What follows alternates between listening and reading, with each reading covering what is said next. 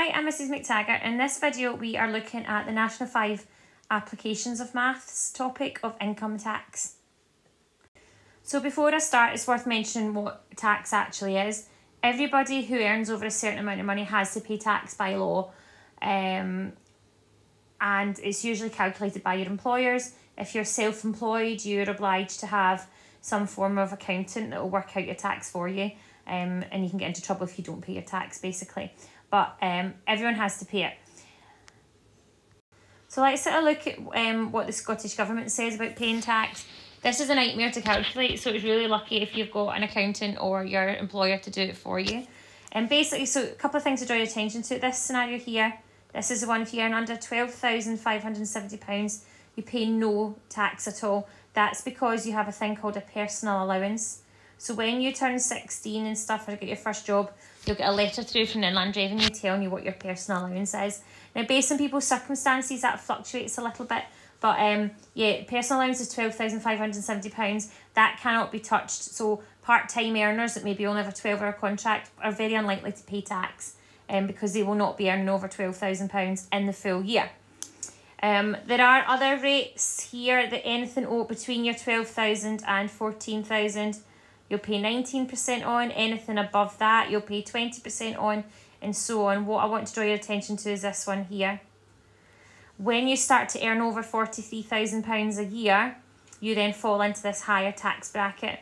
Um, and there'll be a lot of really well paid jobs where it is that. Anything over your £43,000 um, wage, 42% of that goes to the tax man. And then if you have a look at these people, the top earners, the people who earn over 125000 they pay 47% of their whole money to the tax man. They don't get a personal allowance at all. It says that up here. You do not get a personal allowance if you're that big an earner. 47% of your salary goes to tax man. So can you understand why if these people were so um so well off and got these really high paid jobs, half of the money almost goes straight to tax man. So it might sound a wee bit crazy, but that's how it works. And it is difficult to work out we kind of slim this table down a little bit um, in the National 5 Applications course to make it a bit more manageable. So where does your tax go? It's worth mentioning that. Your tax goes to the government and it pays for all the things like um, the public sector workers, your teachers, doctors, nurses, etc. That's where your tax will go. Okay, so we're going to go straight in and look at some examples. So we're going to dive straight in. I'm going to stagger my questions that get a wee bit more difficult as we go on. This one is just playing around with working out your tax. So someone, a teacher earns 41400 a year and they have a tax allowance of £12,500. Now that obviously doesn't match the tax allowance I used in the previous slide. Um, this is a wee bit out of date and I just thought it was easier numbers to work with just now.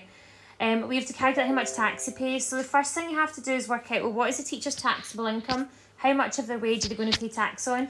So you do that by, first of all, just thinking, right, let's take off that tax allowance. So take off the money that cannot be touched at all.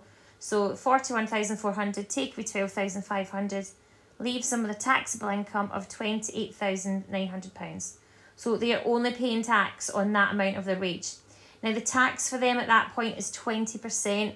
Remember the quick way of finding 20% is to write it as a decimal, 0 0.2.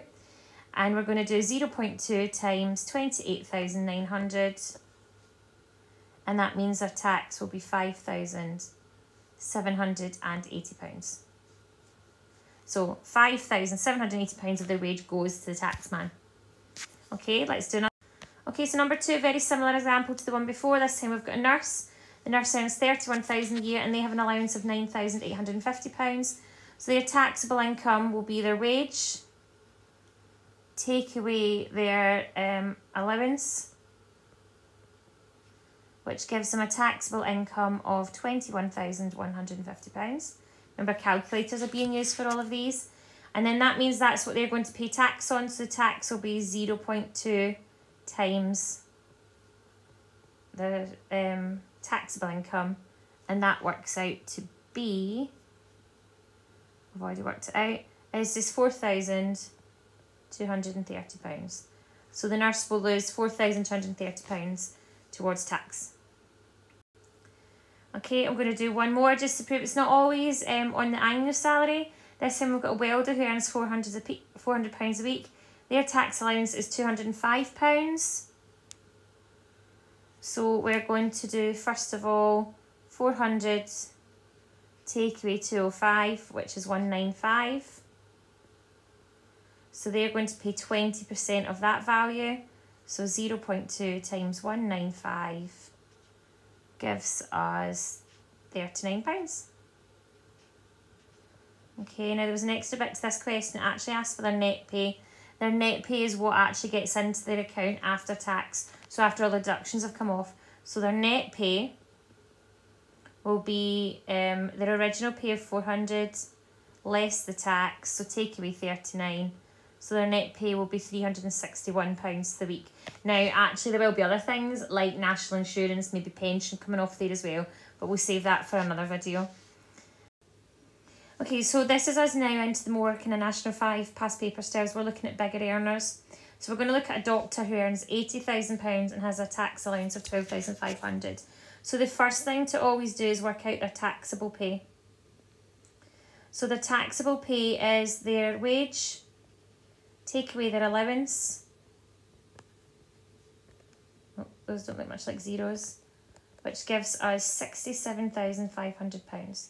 So this is their taxable pay. Now, this table up here focuses on the what they're paying for each part of the taxable pay. So from zero up to 31785, they will pay 20% tax. From anything from there up to where they finish, because this doctor isn't actually going to go over the 150,000 tax bracket, they're falling somewhere in here. So anything over the 31,785 up to their end wage, they are going to pay 40% for. So we've got two different calculations to do here, okay? Um, so let me just get a wee bit more space. So our first sum is going to be for this bit here. We're going to do 20% of that first jump, £31,785, which gives us 6,351. Okay, for this next bit here, we're going to have to subtract. So we're going to do 67,500 take away 31785, which gives us £35,705, 15, sorry. So on this amount, anything that's, in, that's anything between the 31,000 and 67,000 is roughly the £35,000. They're going to pay 40% on this number. So we're going to do 0.4 for 40% times that amount. And that works out to be 14286. So they have two amounts of tax. They've got the small rate of tax at 6,351. They've got the higher rate of tax of 14,286. So their total tax will be those two numbers added together.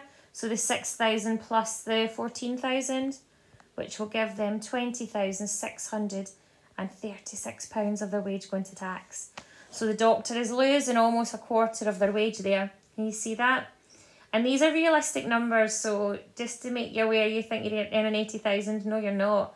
And I've not even taken in all the other things like national insurance and pension and everything in there as well. So let's have a look another one. Right, this time we're going to look at Serena Williams, right? So just out of a, a little estimate, we're predicting that she earns 8 millions a year. So if she earns 8 millions, she's fallen straight into this tax bracket here of over £150,000. So she doesn't actually have a tax allowance at all. So she's paying 45% of her full whack of money. So 8 million, remember, is 8 with 6 zeros. So she is paying, wait for it, three million six hundred thousand pounds in tax. It's not great, is it? So that's me covered the tax. Um, the next thing to come after this is national insurance, which is pretty similar. Um, so I hope this has helped. Thanks for watching.